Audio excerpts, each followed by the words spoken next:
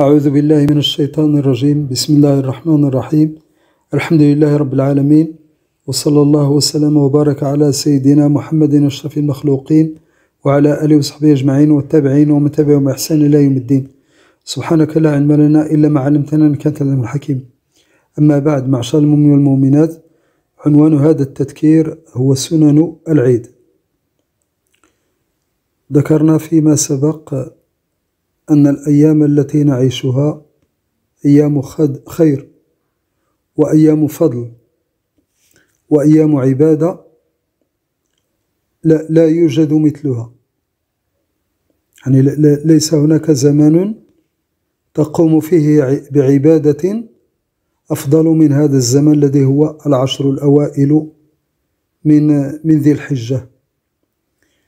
أريد أن أذكركم بعجالة في بعض المسائل المرتبطة بنهاية آه، هذه الأيام ولا سيما ما يتعلق بسنن العيد أو بعض آه، سننه في الحقيقة. آه، أول شيء يتعلق بصيام اليوم التاسع.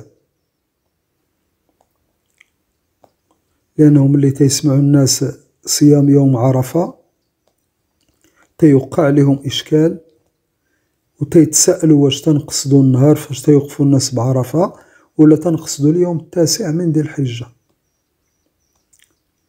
الحقيقة اللي مطلوب في هذا المجال هو اليوم التاسع من ذي من ذي الحجة. لأن الصيام عادة في الشرع يرتبط بالزمان ولا يرتبط بالمكان. لم يرتبط بالمكان حسب ما أعلم إلا فيما يتعلق بمن لم يستطع ذبح الهدي. قال تعالى فمن لم يجد فصيام ثلاثة أيام في الحج وسبعة إذا رجعتم. فربط الأيام آه، السبعة بالحج يعني مكة أو, أو الحرم عموما ولم يربطها بمكان معين بالذات وإلا فإن الصيام سواء تعلق الأمر باليوم التاسع من ذي الحجة أو تعلق باليوم العاشر من محرم المعروف عنا بعاشوراء فهي مرتبطة بالزمان لا بالمكان. وبالتالي ملي تنتكلموا مع الإخوان آه، المغاربة اليوم التاسع من ذي الحجة عنا هو يوم يوم الثلاثاء. هو اللي غادي نصوموا إن شاء الله. ولذلك الإمام ابن عاشر رحمه الله من اللي تكلم على آه، فضل صيام هذا اليوم قال كتسع حجة وأحرى الآخر. صيام التسع الأولى من ذي الحجة ولا سيما الأخير منها وهو اليوم التاسع. بالنسبة لنا الآن في المغرب اليوم التاسع هو يوم الثلاثاء إن شاء الله. ننتقل بعد ذلك إلى يوم آه، العيد. والإنسان مطلوب منه في هذا العيد أن يقوم بمختلف السنن. آه، يستيقظ باكرا وما وما يفطرش يستحسن يطبق السنة. كان النبي صلى الله عليه وسلم في العيد الكبير ما تيفطرش حتى تيذبح الأضحية ديالو وتيفطر يفطر بالكبده ديالها. عاد ديك الساعة يتبع عليها لقسم الله. إذا استطاع الإنسان أن يقوم بهذا فذلك أفضل وأحسن. وفيه سنة اتباع سنة النبي صلى الله عليه وسلم. إذا يفيق الإنسان ويغتسل ويلبس أحسن ما لديه من الثياب ويدير سميتو العطر. بعد ذلك تيجي الوقت ديال ديال صلاة العيد. والوقت بالنسبة لتارودانت مثلا سبعة وربع تقريبا سبعة وخمسطاشر دقيقة. يعني حلت حلت صلاة العيد لأنه طلعت الشمس وبانت. بعدها مباشرة غادي يذبح الإنسان الأضحية ديالو في حدود سبعة ونص ثمانية إلا ربع آه، هكاك. ما مطروح حتى شي مشكل. تطرح هنا قضية مهمة جدا. أنه لا يجوز للناس أن يذبحوا إلا بعد ذبح الإمام. ولكن الخصوصية ديال هاد السنة كما السنة الماضية أنه ما تيصليوش الناس في, المصلى وما تيذبحش الإمام الأضحية ديالو في, في المصلى. وبالتالي ما نقدرش نعرفوا هاد الإمام واش ذبح ولا ما ذبح. آه، إمتى؟ عموما هاد المسائل آه، آه، خفية علينا ولكن بعض العلماء لقاو الحل لهذه المسألة أنه ملي تنتكلموا على صلاة العيد كما في العلم ديالكم أنه التمنعات في المصليات وفي المساجد للضرورة القصوى وللضرورة أحكام كما يقال. الناس الله يجازيهم بخير يديروا الثقة في الناس اللي مسؤولين واللي مكلفين بهذه المسائل. ويتكلوا على الله ويتبعوا ويديروا ويديروا الاحتياطات. راه الوباء غادي تنتشر مرة أخرى بسرعة. وبعض الحجج اللي تيديروا الناس واحد المنطق اللي تيبان لي ماشي هو هذاك أن الناس دايرين الزحام في, في الزنقة.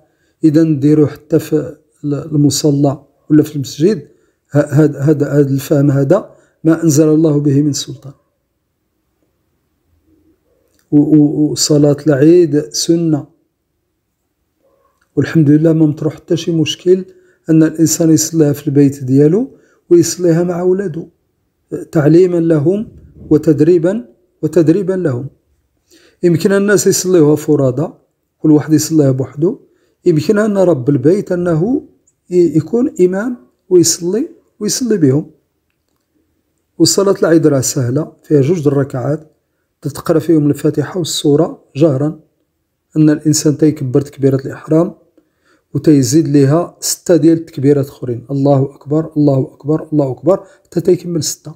وتيقرأ سورة الفاتحة وتيتبع ليها داكشي اللي حفظ وداكشي اللي بغا من بعد في الركعة الثانية تيكبر التكبيرة ديال القيام وتيزيد ليها خمسة ديال التكبيرات. بمعنى سبعة تكبيرات في الركعة الأولى وستة ديال التكبيرات في الركعة في الركعة الثانية.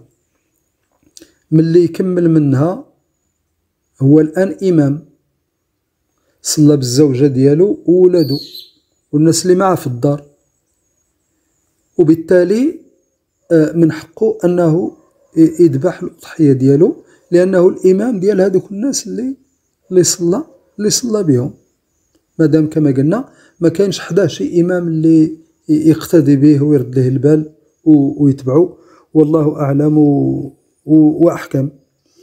وخص الإنسان بعد ذلك يحرص على أنه هذا الأضحية يجمع فيها بين الإهداء وبين الأكل وبين التصدق وبين اسميتو الادخار إلا بغى إلا بغى يبس شي حاجة ويجددها راه ما عنده حتى شي مشكل. حلال حلال طيب. وبغيت فقط بالمناسبة نشير لواحد القضية هنا. طرحها واحد الأخ الفاضل. هو التخصص ديالو في في التغذية. وبارع فيها وأفاد الناس كثيرا. جزاه الله خيرا وإحسانا. ولكنه وجه واحد النصيحة هنا. ماشي هي هذيك. لأنها مفهومة على أنها على أنها فتوى.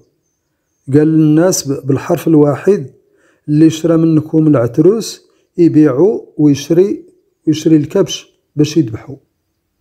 ما عندوش الحق يقول للناس يقول للناس هكا. لأنه سنة الأضحية كما ذكروا الفقهاء تكون من بهيمة الأنعام. والأفضل فيها للضأن. والضأن في اللغة العربية يعني تيشمل بين الغلمي والمعزي كما تنسميو حنا بالدارجة ديالنا. الغلمي والمعزي هما نوع واحد. وإلا بينا نفضلوا بيناتهم صحيح الغلمي حسن من المعزي ولكن حتى الآخر راه دايز. تيذبحوا به المسلمين من نهار بدا بدا الإسلام إلى يومنا هذا. ما عمر شي واحد بأنه قال قال ما مزيان.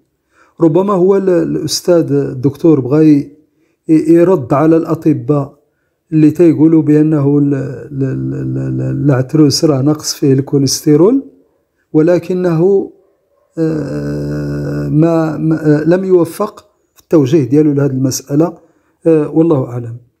بعد ذلك تجري صلة الرحم وهي مسألة مهمة جدا من سنن العيد ولكن في الظروف ديالنا يكتفي الإنسان فقط بصلة الرحم بالهاتف السؤال على الناس من من بعيد. وفي الظروف يدخل الكرام اللي تنعيشوا أنك تبقى في الدار ودير لهم التليفون أكثر أجرا وثوابا من أنك تمشي تمشي عندهم وتعاديهم ولا ولا يعاديوك وتسبوا في, في المشاكل بالنسبة للبلاد والعباد. ومن ضمن سنن العيد كذلك الإكثار من التكبير. من ضمن مميزات العيد الإكثار من التكبير. الله أكبر الله أكبر الله أكبر وما وما يقترب منها. وهو كما نعرف تكبير محدد وتكبير مطلق. التكبير المحدد اللي ضبطوه الفقهاء وهو عندنا في المذهب تيبدا من الظهر ديال ديال نهار العيد حتى للصباح ديال نهار 13 والصيغة ديالو بمجرد ما يكمل الإمام. أي صلاة من الصلوات؟ الله أكبر الله أكبر الله أكبر ثلاثة المرات. الظهر ديال العيد حتى يكمل نهار العيد كله. ثاني العيد ثالث ثالث العيد يعني في الصبح. ثم تكبير مطلق. الإكثار من الله أكبر في كل وقت وفي كل حين بدون عدد. وبدون مراعاة المكان. في أي مكان طاهر كنت فيه أكثر من الله أكبر. الأخوة الكرام هذا ما تيسر التذكير به في هذا المجال. تقبل الله منا منكم وعاد علينا هذا العيد وأمثاله ونحن في صحة وعافية وشفاء من كل داء. ووفق الله تعالى أمير البلاد والعباد وأصلح الله أحوال المسلمين وحقن دماءهم وغفر لنا ولكافة المؤمنين والمؤمنات والمسلمين والمسلمات. سبحان ربك رب العزة عما يصفون وسلام على المرسلين والحمد لله رب العالمين.